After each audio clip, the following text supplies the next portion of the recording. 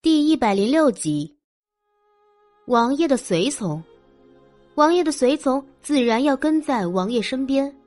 恒武绝对不相信这云嬷嬷敢在王爷面前露面，必定是他们派人跟踪王爷，才找到了这里。恒武笑笑道：“啊，虽然这是王妃和云嬷嬷的一片关切之心，但王爷的性子您是知道的。”绝对不愿意别人打探他的行踪。恒武的话虽然是笑着说的，但听在云嬷嬷的耳朵里，反而有点阴森森的。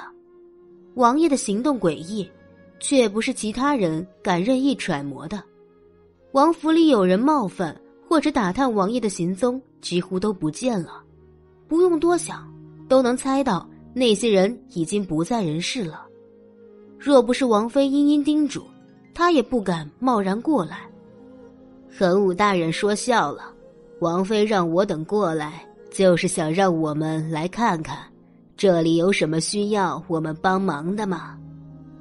云嬷嬷陪笑道：“在府里，他或许不怕恒武，毕竟王爷不管事情，王府里全部是由王妃操持。作为王妃身边的得力嬷嬷。”自然也是有几分颜面的，可若是在府外，这恒武是王爷的人，在外面发现他跟踪王爷，即使杀了他，王妃也不敢找王爷讨个说法。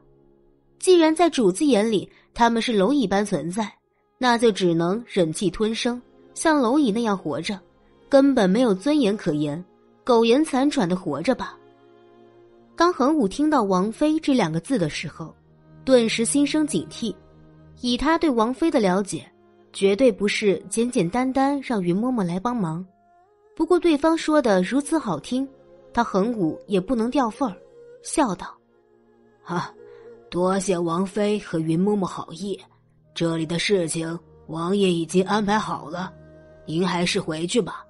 王爷的脾气你是了解的，若是执意如此，王爷知道了，你我都没有好果子吃。”听到这话，云嬷嬷脸上的笑容再也挂不住了。恒武直视云嬷嬷凌厉的眼神，毫不退让。杜九妹看看恒武，又看看云嬷嬷，来者不善啊。杜九妹不是一般的九岁小孩子，她是一个有成人灵魂的大人。根据恒武和这个云嬷嬷的对话，已经在脑海里编制出八十集长篇大型后宅争斗狗血连续剧。不过每次在给美人爷爷定位的时候，有点无所适从。话说，在这八十集的长篇大型连续剧中，最美的不是后院形形色色的女人，而是一个男人。这怎么破？杜九妹脑回路有点长，这么好看的男人不搞基，太可惜了。救美人爷爷那风华绝代，绝对是被压得住，场面太诱惑。不能想，不能想！杜九妹赶紧摇摇头，再想下去，她要流鼻血了。可能是杜九妹的动作太奇怪，云嬷嬷的眼神落在了恒武身边的杜九妹身上，眯起眼睛上下打量。被人这样盯着，杜九妹觉得不舒服，躲在了恒武身后。这个小姑娘是谁？云嬷嬷问道。虽然人小。但他觉得有几分眼熟，恒武拍拍杜九妹的肩膀，道：“自然是我需要保护的人。至于他是什么身份，相信王爷不久之后就会公布于世的。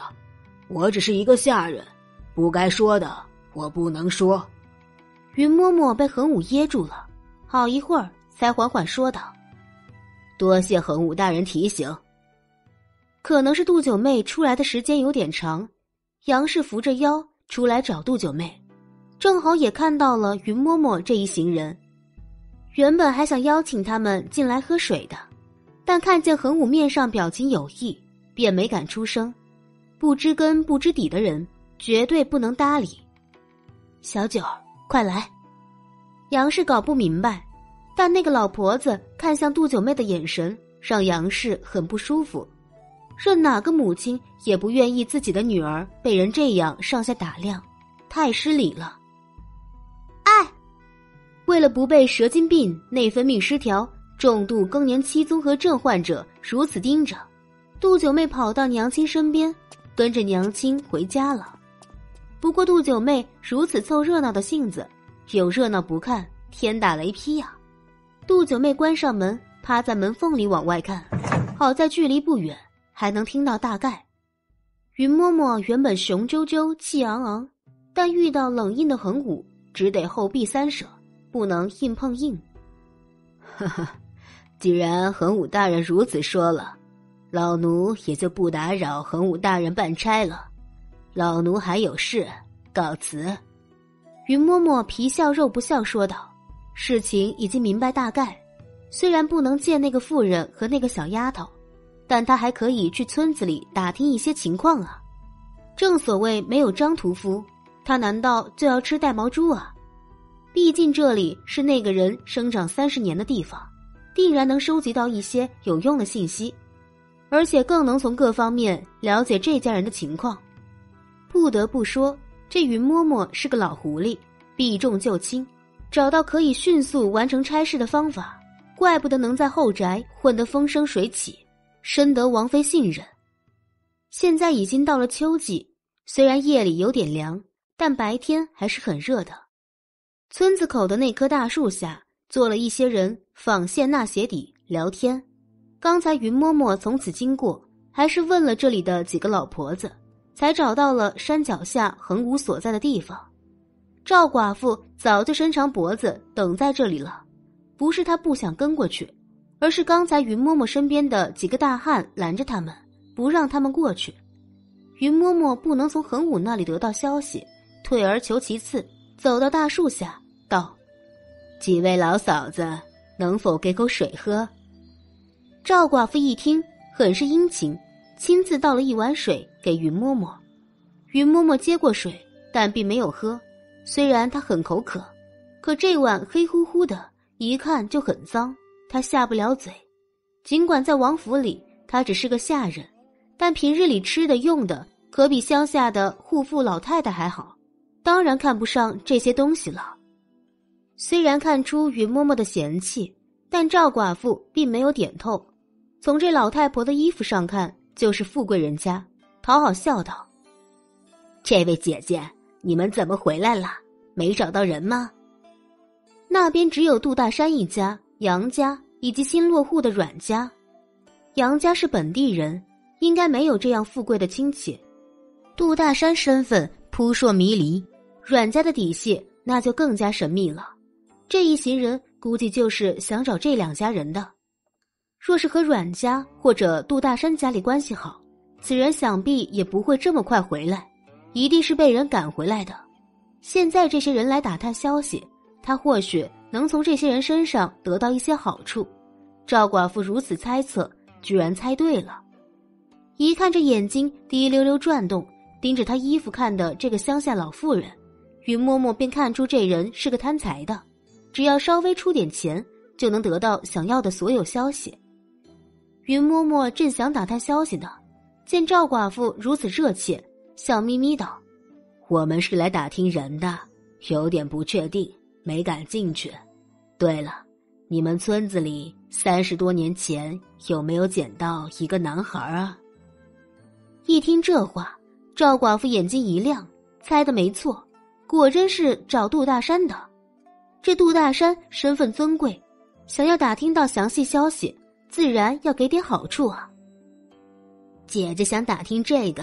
你算是找对人了，我们杜家村子里的确有人三十四年前捡到一个男孩，现在可了不起了，不光赚了很多钱，而且去西北打仗的时候，居然还当了官。赵寡妇夸赞了杜大山一家，因为和杜婆子关系好，所以只说杜大山，并没有说杜婆子等人。孙婆子虽然喜欢和别人说话。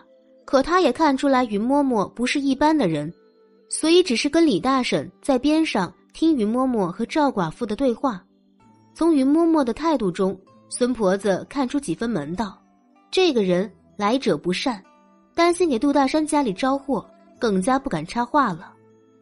倒是身边的李大婶忍不住要插话，被孙婆子一把拉住了，道：“哎呀，我们家的咸菜腌好了，你上次跟我说要吃的，走，我给你拿点。”相处三十多年的老姐妹，这点默契还是有的。李大婶呵呵笑道：“是啊，你家的腌咸菜就是好吃。走，正好要做饭了，你拿点给我。”其他人也发觉云嬷嬷后面跟过来的一行人，虽说不是凶神恶煞，但看上去也不是好相处的人。见孙婆子、李大婶走了，纷纷收拾东西回家做饭。赵寡妇说着起劲，等察觉到口渴，想喝口水的时候，发现大树下就剩下他和云嬷嬷一行人了。赵寡妇心里一慌，借着喝口水的功夫，掩饰慌乱的心情。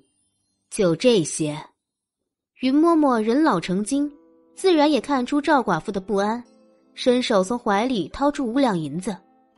不要怕，只要你跟我说说有关杜大山的所有事情，这五两银子就是你的。赵寡妇看着云嬷嬷的笑，心里毛毛的，不过眼神在落在云嬷嬷手上的银锭子上时，顿时眉开眼笑。现在家里缺钱，都快吃不上饭了。赵寡妇伸手去拿银子，可是被云嬷嬷躲开了。你还没说完呢，想拿钱是不是早了点啊？云嬷嬷试探赵寡妇，从王府出来太长时间了，必须要尽快回去了，越早回去越安全，否则等到王爷得知在调查，定会对付他们一行人的。赵寡妇咽了几次口水。搓搓干裂粗糙的双手，陪笑道：“啊，最近听说杜大人这人厉害，不是乡下人的孩子，而是贵人的孩子。最近有个贵人找过来，连我们族长都默认了，就等杜大山回来认祖归宗了。”云嬷嬷点头，又问道：“就这些吗？”云嬷嬷手中的银子又在赵寡妇面前晃了晃。想从赵寡妇的表情里看出这人是否说谎，赵寡妇的眼珠子随着银子也转了转，连连点头道：“有有，这杜大山自从知道是捡回来的时候，就从养父母那里分支出来了，现在日子过得好着呢。”云嬷嬷一听，眼神一闪，笑眯眯问道：“杜大山的养父母对他不好吗？”这刚知道自己是捡来的，就分支出来。养子分支出来并不稀奇，但云嬷嬷好像觉得赵寡妇话里有话。赵寡妇没有回答，而是眼睛盯着云嬷嬷手里的银子。这些人来打探杜大山的消息，一直拿银子缠他，但又不给他。见云嬷嬷再问，赵寡妇不说了。万一什么都说完了，这人不给他钱，岂不是要吃大亏？云嬷嬷一边嘴角上翘，眼露鄙夷，递过去银子，道：“呵呵，你说吧。”赵寡妇接过银子，眉开眼笑，用大黄牙咬了银锭子一下，确定是银子，这才笑容满面，激动说道：“就冲这银子，我也会实话实说的。养子自然没有亲儿子好了，所以对捡来的孩子自然好不到哪儿去。”好在大山这孩子出息，才有今天的好日子。你们是大山的亲人，是来接大山一家的吗？赵寡妇惦记着和杜婆子关系不错，所以并没有挤兑杜婆子。云嬷嬷思索一会儿，并没有回答赵寡妇的问话，又缓缓问道：“哦，那现在分支出来，杜大山的养父母难道就不生气？毕竟现在杜大山有钱了。”也有出息了。赵寡妇看了看周围，没有其他人，这才小声道：“那家人自然不乐意，但族里人现在巴结杜大山，自然会顺着杜大山的心意了。”这赵寡妇心里敞亮着呢。杜大山再有钱，没有给他一文花花。杜婆子那人虽然嘴巴很坏，可却经常接济他，不自觉的就想为杜婆子说话。云嬷嬷得到了自己想要的答案，很是高兴，道：“说的也是，今日多谢你了。”赵寡妇装好银子，咧嘴笑道：“这不算什么。以后有什么要问的，尽管来问我。那是自然。云嬷嬷说完，便上了马车。马车到了镇子上，云嬷嬷对车夫说道：“今天就住在镇子上，你们去打听一下杜大山和他养父母的事情。”从刚才那个老妇人的表情当中，云嬷嬷猜到杜大山和养父母之间绝对有很多他不知道的事情。王妃的心思。云嬷嬷明白，为了以后能够占据主动权，他要多多为王妃搜集各种消息，尤其是有关这人所有不好的消息。镇子离杜家村本就不远，几人分头去打探。杜大山和大宅那些人陈芝麻烂谷子的事情全部调查清楚了。云嬷嬷听到下面的汇报，顿时笑容满面。哈哈，这次没有白来一趟。居然多了一手好牌，云嬷嬷留下一个男仆于猛，让他假扮成商人，在镇上停留一段时间，监视杜大山一家的情况，最好能结识杜大海。敌人的敌人，那就是朋友。云嬷嬷虽然是个后宅仆妇，但也明白这个道理。且说那云嬷嬷走后，杨氏忍不住问恒武道：“恒武说，你认识那婆子？”绝对认识，而且还很熟。杜九妹在边上点着小脑袋。恒武爷爷，你就跟我们说吧。我不喜欢那个嬷嬷，她的眼神好像要杀了我，一看就不是好人。杜九妹夸大说道：“就是希望加深恒武和嬷嬷之间的矛盾，让恒武对他们和盘托出，让他们也了解一些广陵王府的事情，不能两眼一抹黑，跟个傻子似的，净吃亏。”果真，恒武在听到杜九妹的话之后，面露愧色道：“夫人，小九，你们不要怕，属下会保护你们的，绝对不会让别人伤害你们的。”这句话不是空话，就算丢了性命，恒武也在所不惜。杨氏稍微放松，面色好看了一些，不像刚才那么紧张。她不是不怕，而是一直记着丈夫说的那句话：“兵来将挡。”水来土掩，杜九妹翻翻白眼，嘟囔道：“恒武爷爷，你还没回答我的问题呢。他最想知道的，刚才过来都是什么人？虽然之前已经做好了因为父亲身份转变带来的问题，但没想到这么快就会有反对派找过来。那些人能在三十多年前就能搞得父亲和美人爷爷骨肉分离，那么三十多年之后。”想必也会有更多手段，想想杜九妹都觉得脊背发凉。恒武一听，关心则乱，挠挠头，讪讪笑道：“那人是王妃身边的云嬷嬷。这王妃想必不是我亲祖母吧？”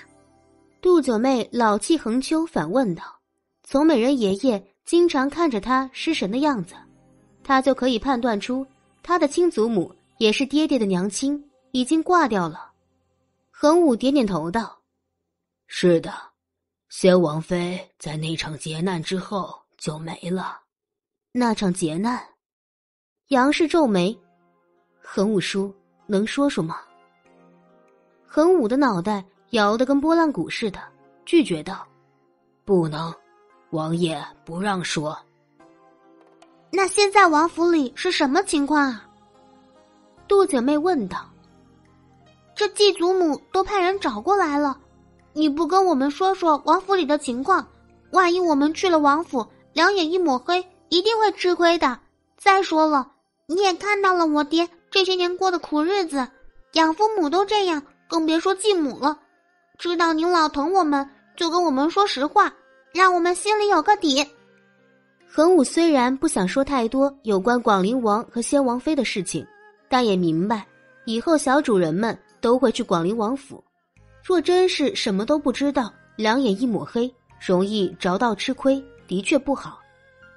广陵王府谢王妃是大如封家封清扬的妹妹封灵儿，是咱们大晋朝有名的美人，继王妃于阁老的小女儿。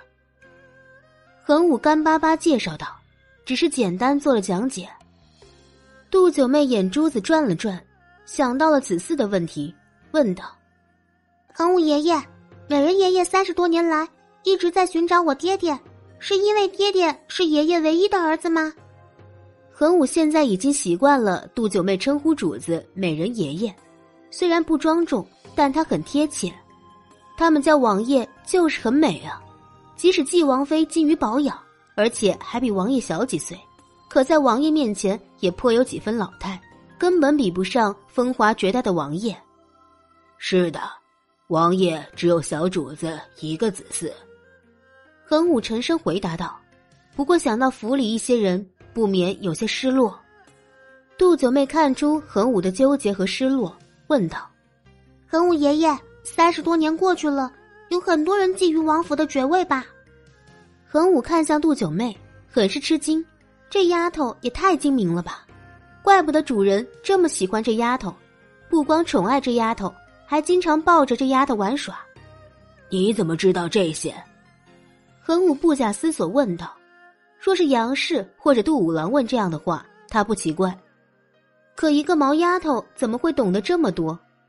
杜九妹见恒武用怀疑的眼神看着她，傲娇说道：“哼，今年过年我在李家村看了一出戏《真龙记》，里面就是这么说的。那是前朝的皇家真假子嗣的故事。美人爷爷是王爷，比皇家也不差。以此类推，就明白喽。”是啊。貌似有这一出戏。是啊，当年先王妃去世，小主子失踪，对主人打击非常大。老夫人见主人整日茶饭不思，精神萎顿，族中便送来一个才六个月的孩子养在身边。主人看到那孩子失去儿子的心，这才活了过来。恒武哽咽说道。当时的主人就是一个行尸走肉，眼神里没有一丝光芒，就比死人多了喘气这一项功能。同时失去儿子和妻子，对一个重情重义的男人来说，的确是一个非常大的打击。只是原本可以继承整个王府的养子，见养父寻找到了亲子，不知道是坦然接受呢，还是全力阻止呢？